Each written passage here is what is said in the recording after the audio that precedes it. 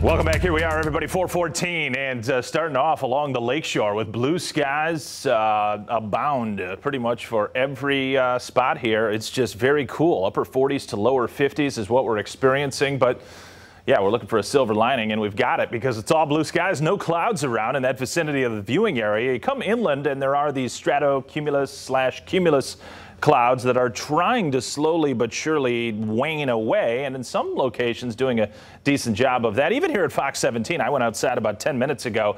Uh, predominantly, the sky is blue. Looks like a few more pop-up clouds there across the city of GR, but certainly brighter skies than the last couple of days. Visible satellite imagery tells the tale.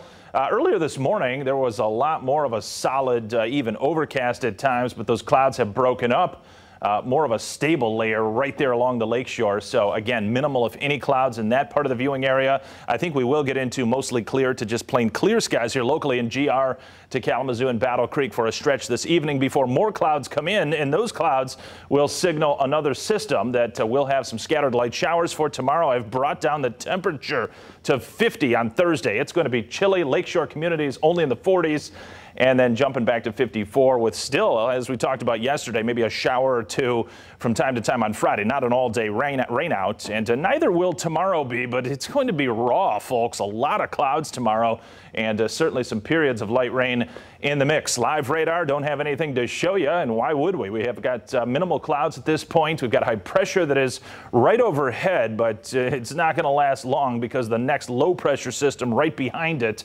and it will be following that stationary boundary or warm front, whichever you want to call it, and it has some moisture, as you can see, out through Minnesota and Iowa. That's what will be affecting us for tomorrow morning already, I think, by 7, 8 o'clock in the morning and beyond. Big upper low, as I talked about yesterday, spiraling over southern Hudson Bay, and that is bringing down the cool flow into the central and eastern United States. Going to stay locked in into the early part of next week, though easing, I think, with the chill as we go along. So next Tuesday, Wednesday, Thursday, working back into the 60s at that time. Mostly clear to eventually partly cloudy again as some high and mid-level clouds stream in ahead of this next system by later this evening. And for the overnight, we have jumped to 58.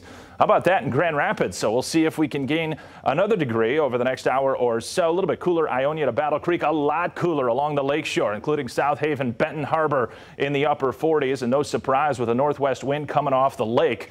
It is a little bit breezy. We mentioned that last night. Probably some wind gusts to around 20 to 25. We're feeling it out there. It's not real windy, but certainly a touch breezy. And high temperatures tomorrow. This is not exactly what you want to see, but getting used to it, aren't we? With highs in the upper 40s to lower 50s. The next seven days. Now, again, that gray box on the left side of the screen, that's the average high for tomorrow. By the end of the seven day, our average high right up against 70 degrees. And I've got no 70s coming uh, over this seven-day stretch, though, as I mentioned a few moments ago, we're starting to turn the corner, starting to moderate this atmosphere just a bit by Tuesday, Wednesday, and I think beyond that, getting even a little bit warmer at that time. Future track model, uh, mostly clear skies, but here comes some of those high and mid-level clouds drifting in 10, 11, 12 o'clock tonight. No moisture with it initially, but watch the model as we go along. 5 o'clock out towards 6, 7, 8 o'clock. I think some rain showers approaching the lakeshore. Not heavy stuff, just nuisance type, turning the pavement damp. And that'll continue into the early afternoon. Some clouds will linger behind it, probably by late afternoon or evening. Some breaks in the clouds for sun, but too late to really warm us up. 50, we'll call it. Doug and Derek, and then, well, looking chilly through Mother's Day weekend. All right, thank you for that, Anthony. When you think of ways